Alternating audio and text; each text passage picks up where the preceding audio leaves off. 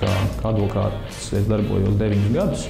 Pirms tam esmu strādājis arī kā jurists, bet nu, faktiski birojas radās man atnākot šeit atpakaļ no Rīgas. Biroja pamatdarbības joma ir uzņēmuma juridiskā apkalpošana. Varbūt atšķirībā no tādas klasiskās un vēsturiskās pieejas advokātu darbam, kad advokāti iet krimināla lietās un aizstāv, aizstāv apsūdzētās personas, tad, tad es jau no paš, pašiem teikt, pirmsākumiem esmu sācis strādāt uzņēmumā kā jurists un vēlāk arī šo uzņēmumu juridisko apkalpošanu kā biroja pamatdarbības sfēru esam arī apzināti veidojuši.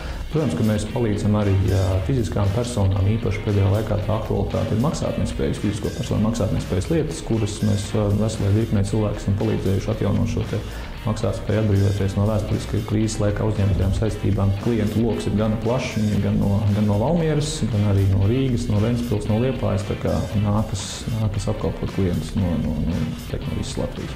Es pats kā, kā advokāts ļoti lielu darba laiku veltu vidas tiesību jomai. Pamatā tā ir atkrituma apsaimniekošana apkalpojot visus uzņēmumus, kas ir ar kaut kādā veidā pašvaldību iesaisti. Un, Un pēdējā laikā arī citās vidas tiesību jomās, kā piemēram kūdras iegūšana un tam līdzīgi, tās, tās jomas, kas priekš manis kā, kā, kā privāta kā advokātu šobrīd ir saistītas vairāk. Veiksmes atslēga, manuprāt, tiešām ir darbs. Un, uh, darbs uh, nedomājot, tiešām nestādošu atlīdzību pirmajā plānā, bet, bet domājot par klientu interesēm, varbūt pat reizēm kādu solītu uz priekšu, ko, ko varbūt klients tajā brīdī vēl neapzinās. Tie ir tie mirkļi, kad, kad tas gandarījums ir vislielākais, kad, kad tas darbs ir nesis tos rezultātus. Un, Un tāpēc, tāpēc ir vērts celties reizēm trijos, reizēm četros naktī, lai vienkārši sagatavotos lietai, kas tajā dienā ir gaidām, un, un to var darīt vēl joprojām ar prieku.